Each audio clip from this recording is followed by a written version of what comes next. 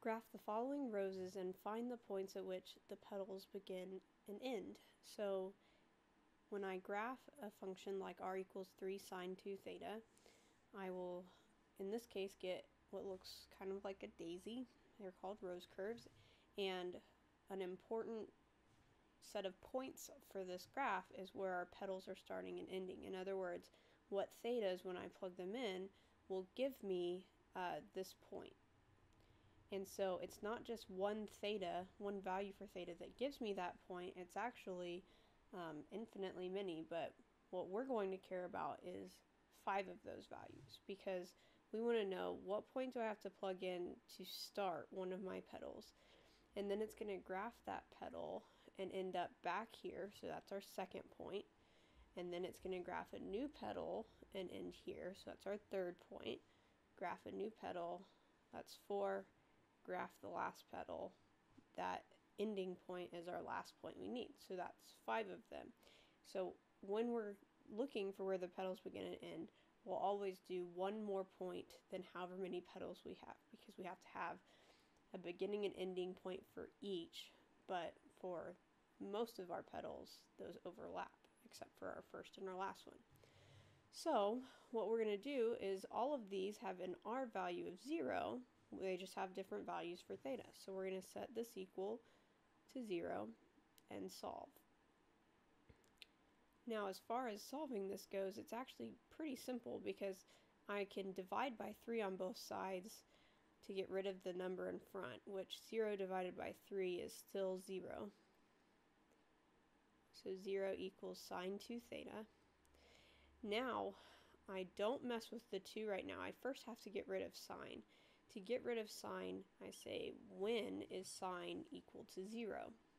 And so I either need to think about it or draw some triangles maybe or get out my unit circle. So sine, which is our y value on the unit circle, has that happens at 0 and at pi. But because this is 2 theta, when I get rid of my sine, I'm going to have 2 theta equals something.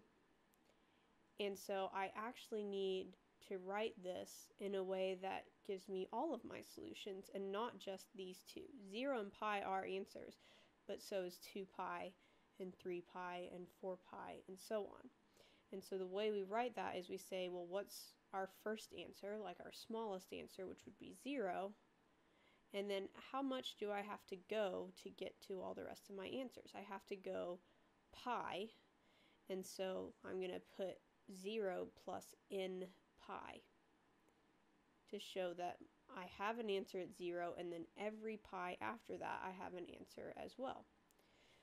So to finish solving this for theta I have to divide everything by 2 which at some point here I can go ahead and get rid of this 0 at the front. 0 divided by 2 is still 0 and 0 plus anything is just that thing. So I really just need to have this as n pi over 2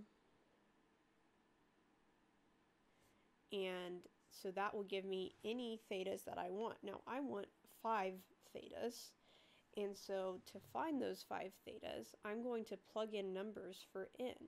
So I'm going to start with zero, because that's basically going to give me my um, simplest answer, is if I plug in for zero, my smallest angle that's not negative.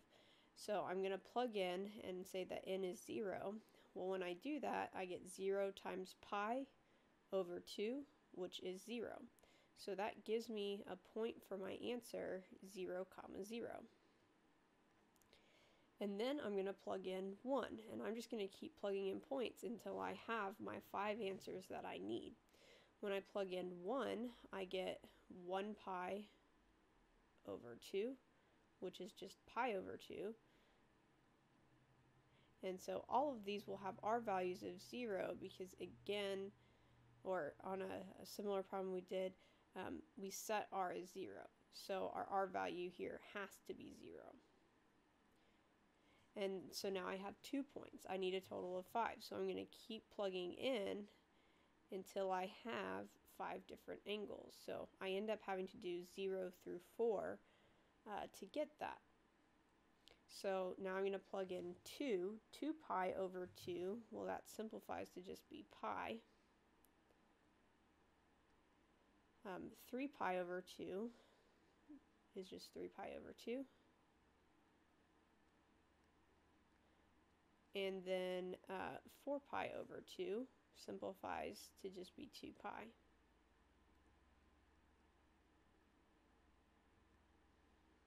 So these five points would be our answers. And the reason there's five of them is because we had four petals, so we needed one more point than what, um, than how many petals there were. So if there were, say, six petals, I'd have to have seven points. Or if there were three petals, I would have to have four. But otherwise, the process would would pretty much work out to be the same.